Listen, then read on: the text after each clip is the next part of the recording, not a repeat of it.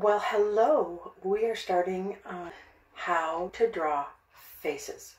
I'm very excited that you've gotten this far, and I hope that you have gone through each of the modules step by step. So, but I hope that you are being able to use what you've learned in the last module as you approach the new one. The title here says Understanding the Head, but it's really about understanding the shape of the head and the human features. Drawing faces can be a lot of fun, but it's also challenging because there's so many different planes in the face. And when I'm referring to planes, I'm referring like facets on a diamond. So you're going to be drawing generic faces to start with. And I'm going to be giving you handouts for your reference, so don't worry about taking notes. And I want to let you know that because we're so familiar with what human features are and where they're placed and what they look like. Drawing faces requires practice. Practice, practice.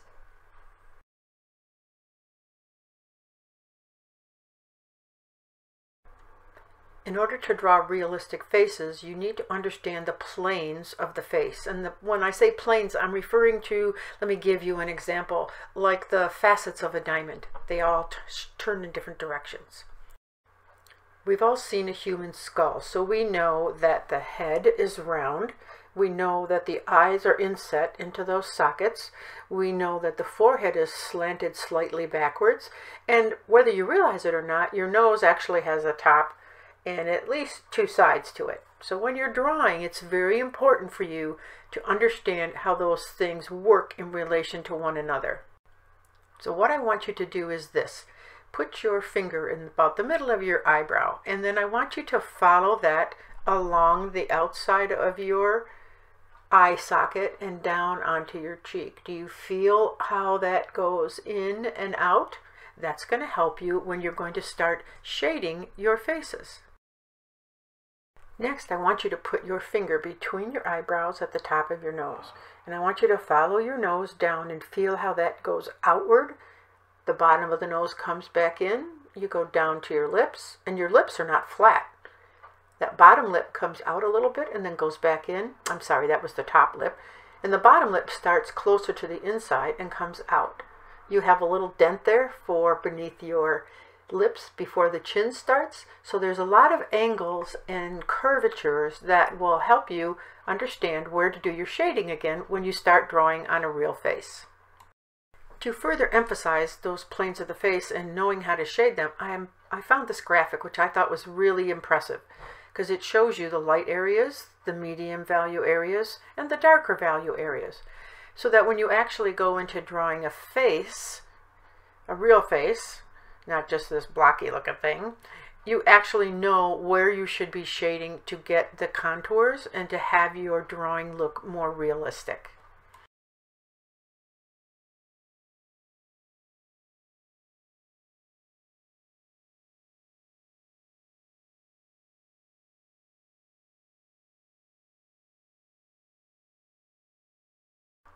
Now we are ready to get into the placement of the features on the face.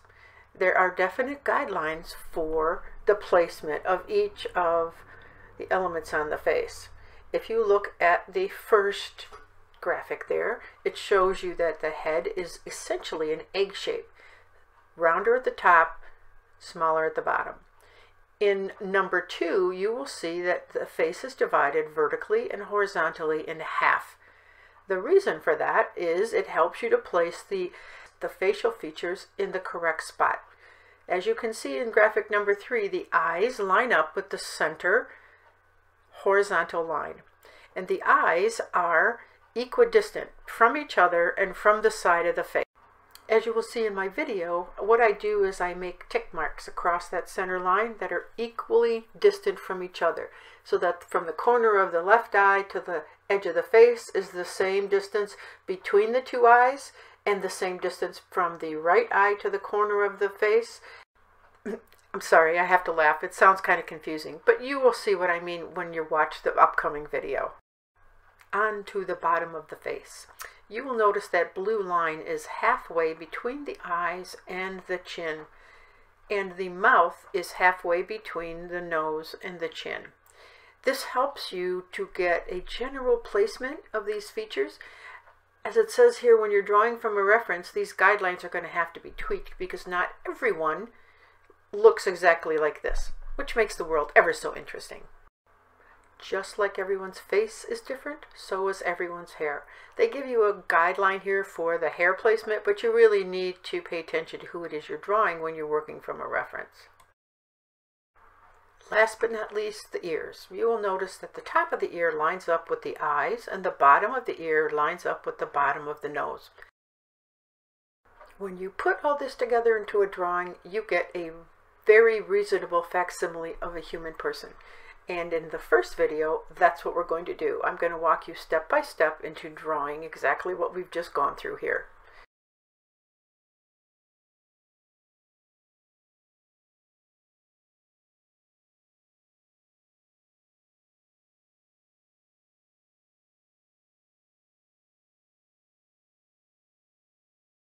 I find it ever so helpful to start with some marks that tells me where my head is going to be placed. I want my head to be wider at the top and narrower at the bottom for the chin. Putting those marks in really gives me a feeling for the shape of what my head's going to be.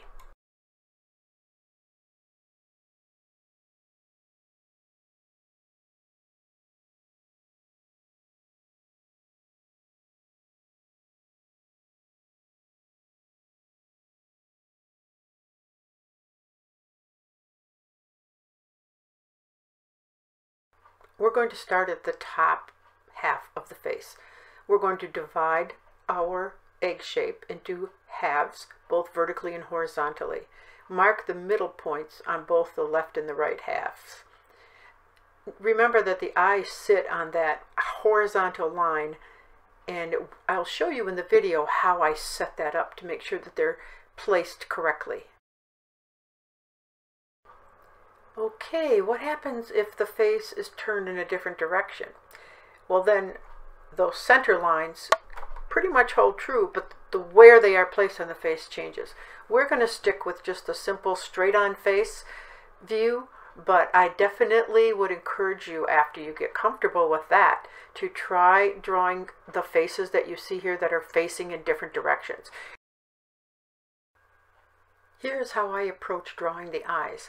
I'm going to make four marks on that horizontal line and I want them to be equally distant apart so that the distance between the two eyes is the same distance as the width of each eye. I just gave myself two reference points for both the bottom of the nose and the middle of the mouth. It's very important to understand the shape of the eye. It's not a circle. The opening for the eye is really an oval, and the top lid is a little bit wider than the bottom lid, which allows you to open and close your eyes. Typically, you won't see the whole of your iris because if you if you are, it's more or less a surprised and uh, a surprised expression. So you Typically, when I draw this, I will cut off the top and the bottom of the eye because the eye is set behind the upper and lower lid. I want to make sure at this point that the eyes are the same height and the same width. If they're not, you need to stop and fix them before you go on. If you continue drawing, your face is going to look kind of wonky and you're not going to like that. When you draw that dark pupil in the middle of your iris, I think I've got those terms right, you want to make sure that they're the, in the same place on both eyes because if you don't do that, it's going to look like your person's looking in two different directions at once, which again is going to look kind of odd. This graphic gives us a little more of a refined division of the space in both the lower half and the upper half. You can choose to follow this or whatever works for you. I'm going to be moving on to showing you how to add those other features. Your eyebrows are above your eyes. Don't put them too close because they're really not that close. You need room for that upper eyelid. When you are drawing your nose, if you take your finger, again, and put it in the corner of your eye on the bridge of your nose and follow that down, you're going to feel that curve at the bottom of the nose.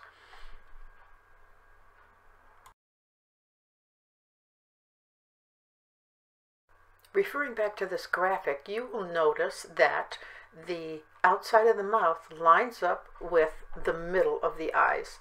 I also want you to know that the outside of the nose typically lines up with the corner of the eye. So if you draw a line straight down from the corner, that's how wide your nose should be.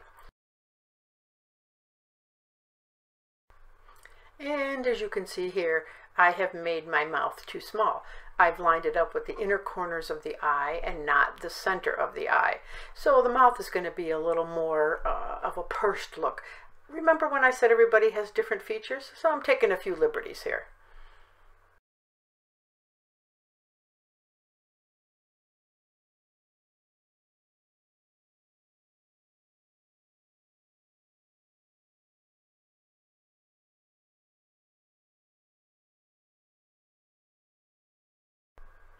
The ears are typically lined up with the bottom of the nose and the center line of the eyes.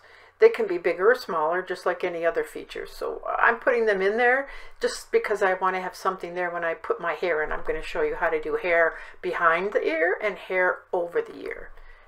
The thing with hair is the lines need to follow the contour of what the hair is doing. If somebody has really curly hair, you would be doing it in little spiral squibbly marks as opposed to this person who has straighter hair. When adding a neck, a good place to start is to line it up with the outside edge of the eyes. At this point, I am continually looking at everything on the face to make sure that I have things where I want them placed. I'm adding more lines, a little bit more shading, just to, you know, round out the head and make it look a little bit more real. Referring back to this graphic, I am going to start shading my face, following the planes that we talked about before. This can take some time for you to do and is kind of a delicate process, so don't get frustrated. You will notice that I'm going to be doing a lot of erasing and fixing and erasing and fixing. So it's not just a one time out of the shot, boom, you're done. So if that happens to you, not to worry, it's perfectly normal. I'm starting with some shading around the eyes to kind of set them back. I'm also adding that shading on either side of the face. Remember the planes, the cheeks come forward and the side of the face goes back. So you can see that I will start to form those lighter cheeks as I am shading. The neck sets back further than the chin, so I am shading that to show that it is further back. Makes it look so realistic, doesn't it? I think it's kind of cool. I often check back with my reference pieces to make sure that I am getting my shading in the right spot. So I would suggest that you have these handouts with you as you're starting to draw on your face. It helps a lot, really. Back to beefing up my shading. I want the face to stand out from the hair, so I'm making the hair darker around the face, which makes the face lighter and makes it come forward in the picture plane. When you're adding lines for the hair, there are some dark shadows, so don't make it all the same value. Get, your some, get yourself some lights and darks in there, and make sure that you are adding a little bit of shading on the forehead underneath the hair. I really like using my blending stump for adding soft shading in various areas on my face, especially when I start erasing like this. I need to go back and blend any hard edges I might have. And you see me, again, I'm fussing with that nose. I have found that with the nose, the less you do, the better. It's still not right, so I'm going to continue to play around with that. I'm always drawing things in, fixing them up, taking it out, putting it back. So if that's what happens to you, don't worry about it. As I said before, it's perfectly natural. I don't like that outline of the nose, so I'm going to take that out and see if I can't do something a little more natural looking. I'm going to just erase and shade and erase and shade until I get it to look a little more natural and realistic. Using your shading to define the edges of facial features is the way to go because they really aren't lines, they're soft edges. And soft edges recede, hard edges come forward. You'll notice how I'm darkening around her eyes so her eyes are popping.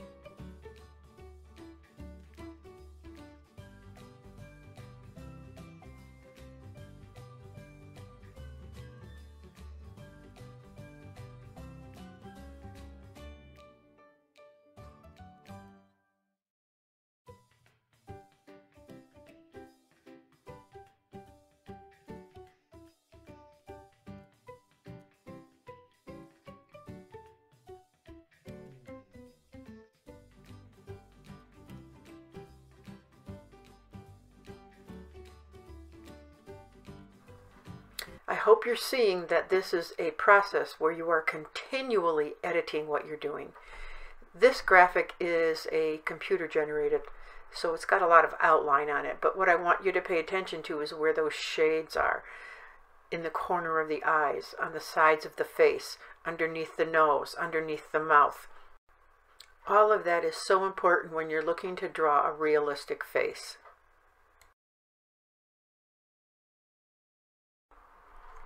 As I'm approaching the final stages, I like to check my alignment again.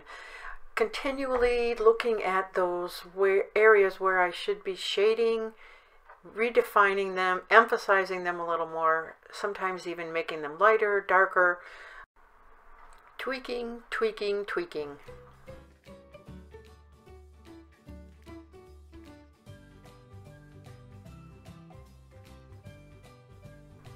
As I'm doing my final edits and really looking at the whole picture, I see there's a few areas I need to fix.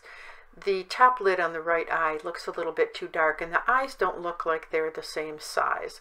The shadows I'm adding are not too bad, but I need to refine them a little more.